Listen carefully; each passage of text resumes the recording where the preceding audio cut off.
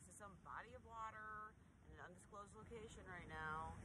And I was thinking about my stream of kind choices for this week. It's my conscious choice to talk about something that's beneficial to somebody other than myself. Maybe one person out there is watching. I know I'm usually talking to myself, but today what I'm thinking about is footprints. And there's physical footprints in the sand, but what I want to talk about is emotional footprints. What kind of a footprint do we leave in our daily lives emotionally for ourselves or for other people? I'm talking about the energy we put out there into the world. Now, if a dog walks by, there's a lot of dogs on this beach right now. He might join me in the video. Anyway, so the emotional footprint we put in people's lives around us. Say we're at a meeting at work. There he is, he's coming. He's putting some footprints, he's making me happy. You're at a meeting at work and everybody's all jammed up, right? They're all in the conflict cycle. Are you going to join them in that cycle and you add to that footprint of negative energy conflict and strife? Are you going to be like that Himalayan salt lamp that's just sitting there peacefully trying to diffuse everybody's energy? It's not easy to be like that because it's a lot easier to get in it. That's what's happening socially and politically in the world right now with so many things going on. We can definitely add to that and that's a lot easier than being the opposite. So thinking about, you know, how can I change my reactions in the world? And I've talked about that on some of the other videos too. But just think about when you are with someone, what emotionality are you giving them? So what's emotional weather inside of you? Is it stormy? Is it a tropical storm? Is it a hurricane, a tornado waiting to unleash next to anyone you're with? And if you think about what that weather does to somebody else, and you could see that from a, standing up here and looking down on how you are to other people in either a room or in a meeting or with one other person in your life, if you could see what that stormy emotional weather does to other people, you'd probably stop doing that. So I know that I've had reactivity over the past six months. It's really difficult not to. We've been in quarantine. We've been seeing things on the news.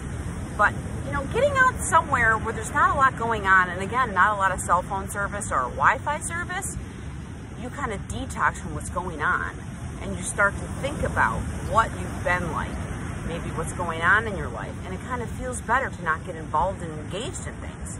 Your emotional weather on the inside of you actually improves. And so the footprint that you're giving other people is more positive. Now you can use this in any example. Say you're at a meeting at work everybody's very conflictual and there's resentments and there's grievances and you get a bunch of people together in one room and everybody has their own agenda including you, including me, and if we all add to that, the energy in that room is like fireworks about to erupt, right? Or a volcano. Maybe think about next time when you're in that situation, being that person that's like the Himalayan salt lamp.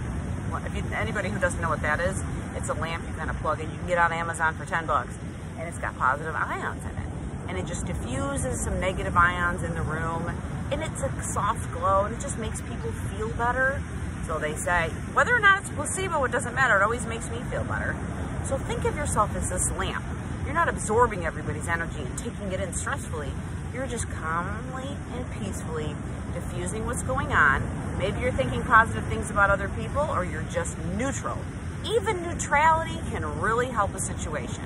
And that footprint that you've left at that meeting is not adding to the emotionally charged weather that's a hurricane or a tropical storm. And now think about yourself in a relationship. And when you have a grievance and you're resentful of things in your life and you affect that other person and infect that other person with the weather inside of you. And they might be sunny days all the time. And you might feel like tsunami waiting to erupt. They've said something, there it is, right? The trigger. And then you unleash the beast. Like these waves out here. And you unleash it. So the footprint you have left on that person with your emotional weather is now affecting them. Is it up to the other person to not take it in? Sure it is. Oh, it's always up to them. However, we all have a responsibility for the emotional energy we're putting out there to other people. So just think about the footprint that you're leaving in someone else's life. Is it positive? Is it negative? Is it neutral? Do you want to draw people into your dramas all the time. Or maybe you can say, I've done that long enough and I need to stop doing that. I want to stop doing that. So just start with neutral. Just start with, you know what? I'm going to go to this meeting. I'm just not going to say anything right now because I'm always talking. I know I'm always talking. I got to hear my voice talk.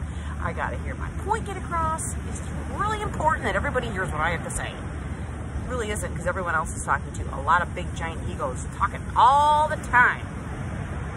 We got enough egos in this world right now, right? Especially in this country. So let's change ourselves to change the world around us by having more of a positive influence on how we react, how we think, how we speak.